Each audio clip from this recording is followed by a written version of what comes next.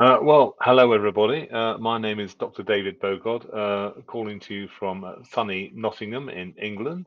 Uh, and I've been asked to talk a little bit about uh, medico legal aspects of communication failure in the theatre team. I am a consultant anaesthetist, recently retired, and I have a very active medico legal practice. So I'm just going to share my screen, and hopefully this will all work out for you. So here's what we're going to talk about.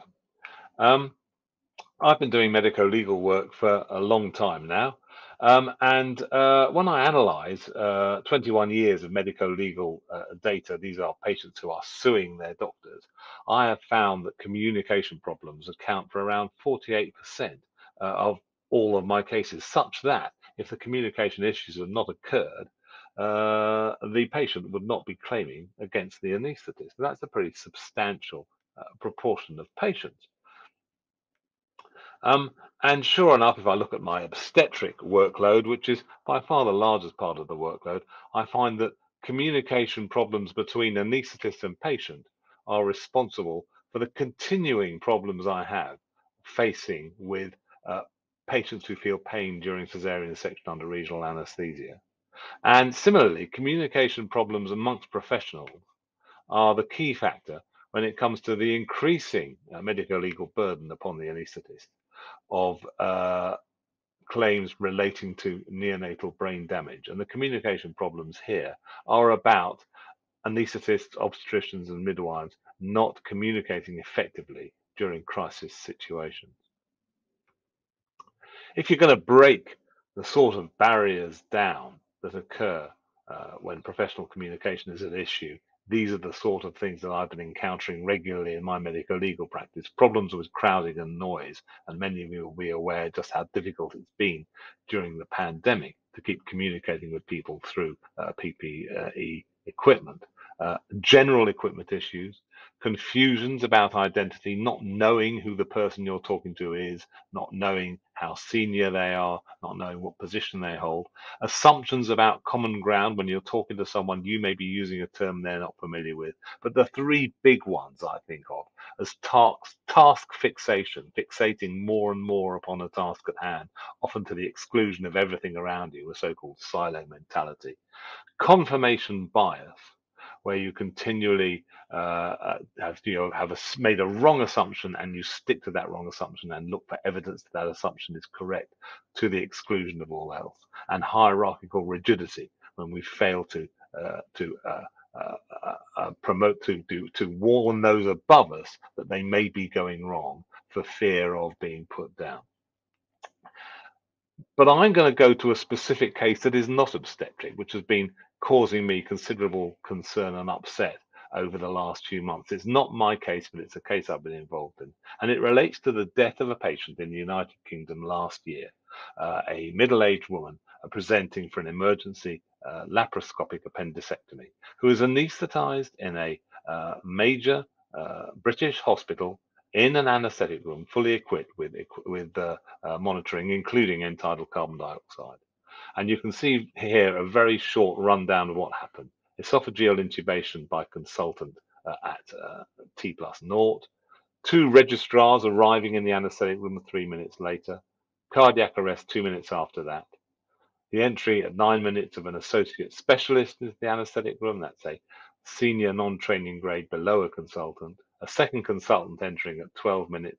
And at 16 minutes, that second consultant diagnosing the problem and re-intubating, sadly too late for the patient. During this time, five anaesthetists were in this anaesthetic room at different times with a CO2 monitor, with a tube down the esophagus, and yet it took them 16 minutes to reach a conclusion that the tube was in the wrong place. How on earth can this occur? And the answer is, of course, as you would expect, communication issues. So here's the consultant who was looking after the patient. He's actually a locum consultant, so he's not on the specialist register of the General Medical Council. And the waters were muddied by the fact that he gave his assistant, the operating department practitioner, an opportunity to try intubating the patient after inducing. Uh, she took over and uh, she failed to uh, pass the tube, and so he took over, achieving what he describes as a grade one intubation with direct laryngoscopy. And by his own admission, he became increasingly fixated on a diagnosis of anaphylaxis when the patient started to deteriorate.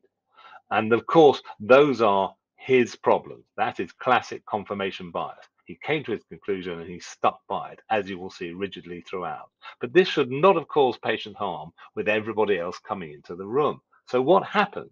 Registrar 1 tells us that she entered the room because something was wrong and the saturations were low. She took over the bag, but passed it back to the consultant and then concentrated at his request on achieving uh, better venous cannulation. She asked what the working diagnosis was and was told it was anaphylaxis. She then concentrated on managing the subsequent cardiac arrest. When consultant two arrived, she passed the anaphylaxis message on to consultant two, and at times she mistook the vent ventilator pressure trace for the absent end tidal carbon dioxide trace. And here we see some problems, don't we? Propagation of the error originally made by consultant number one, task fixation on cannulation and managing arrests, things she can do very well rather than challenging the, consult the consultant at the top of the table, and some equipment issues because the monitors in this particular hospital did not default to an end tidal carbon dioxide trace. And although one was on display here, she assumed it hadn't defaulted to it and it was a ventilator and it was the actually the ventilator pressure trace was the tidal carbon dioxide trace, if that makes any sense. Registrar number two arrived the same time as registrar number one. Again, saturation was 85%, and she said there was no Capnogram trace. She was specifically asked, is the tube in the right place? And she was specifically told by the consultant, yes, it was a grade one view. That was the phrase that the consultant used.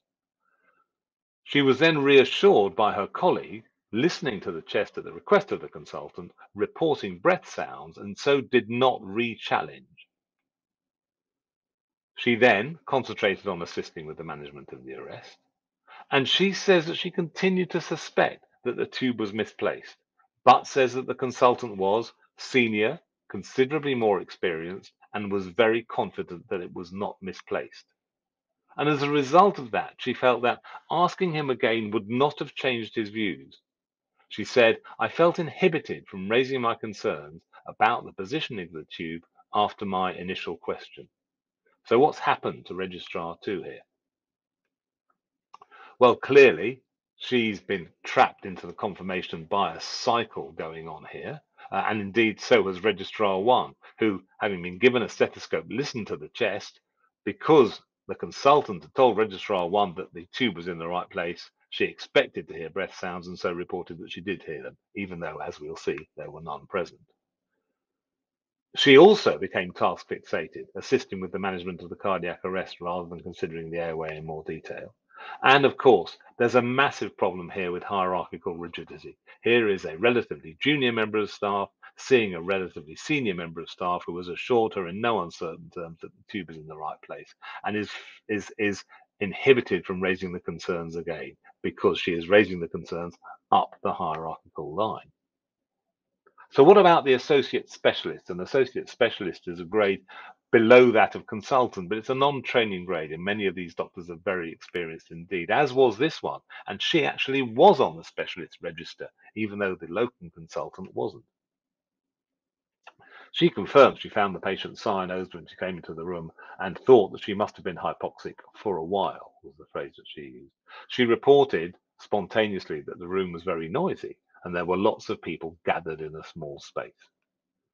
Um, she says she asked if the tube was in the right place, but she received no response to that, and she felt inhibited to ask again by her respect for a colleague and their relative seniority, even though actually, in experience, she was probably the more senior.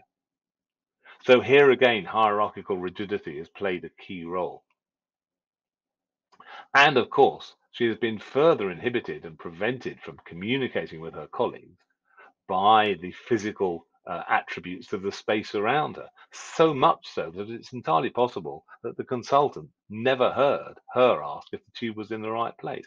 Perhaps if he'd heard at least two people ask that, he might have done something different. And finally, we have consultant number two. Consultant number two comes in, sadly, too late. Um, and as she comes through the door, consultant one at the head of the table asks her to contact the duty consultant on call for the intensive care unit. And she has some difficulty doing this. She has to borrow a phone from one of the registrars, and go through, find the rota, find the phone number, and call him. And some minutes are taken up by this, such as it's four minutes between her arrival and her eventual actions. She asked consultant one about the cause of the arrest, and she was told it was anaphylaxis again. She asked about whether the intubation had been straightforward and was told it was grade one.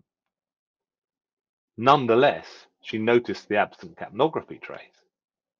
She took over the bag herself and asked the associate specialist to listen to the chest. And the associate, associate specialist said that there were no breath sounds.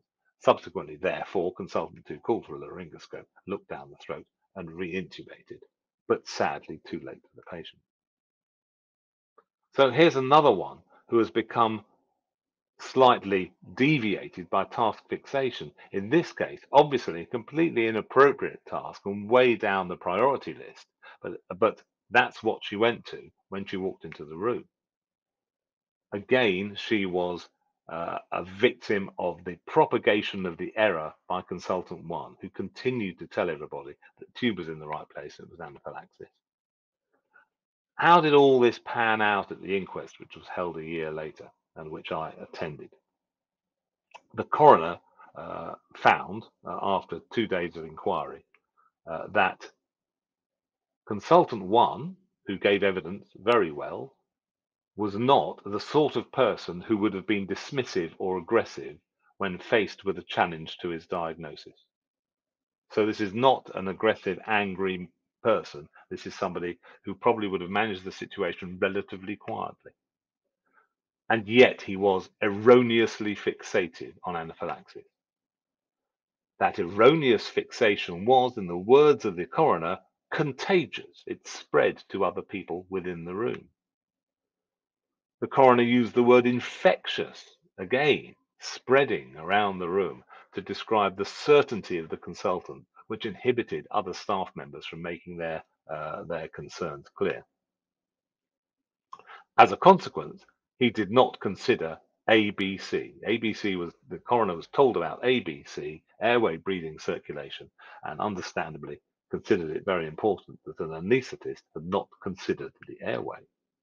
He therefore said that this was a gross failure on the part of consultant one to provide basic medical care to the patient, and that this gross failure had a direct causal connection to the death and he subsequently concluded that there had been neglect on the part of consultant one and that there was chaos, the word he used during the emergency. I put it to you as an audience that neither of those are words that you want to hear from a coroner commenting upon a patient who died uh, in your care. Um, and that really is the story. It's a terrible story. It's a story which the Royal College of Anaesthetists is now as I give this lecture, acting on, on very uh, aggressively to deal with uh, and to try to retrain people to get the message across about capnography. But it's not just about capnography. There are lessons for communication. These are they. We do and will all make mistakes in our time, but they should not lead to patient harm if there is good communication amongst members of the team. And to get good communication, we need to guard and train against confirmation bias because it's a real issue and we all, we all experience it. That hierarchies must be shallow and non-threatening. We need hierarchies, we need someone in charge, but we need to be able to challenge them. And we need to ensure that our juniors know that they have a duty to challenge upwards, a duty to do it. And all of this can be better by good team training. I'll leave you with these messages and thank you very much again for inviting me. Thank you.